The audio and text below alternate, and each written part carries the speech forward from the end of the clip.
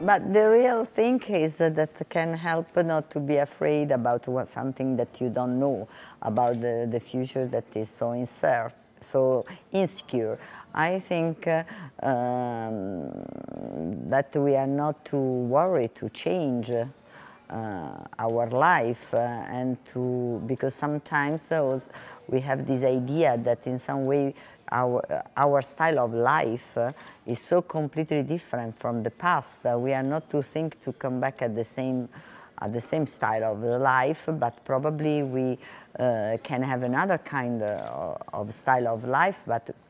could be beautiful in a different way.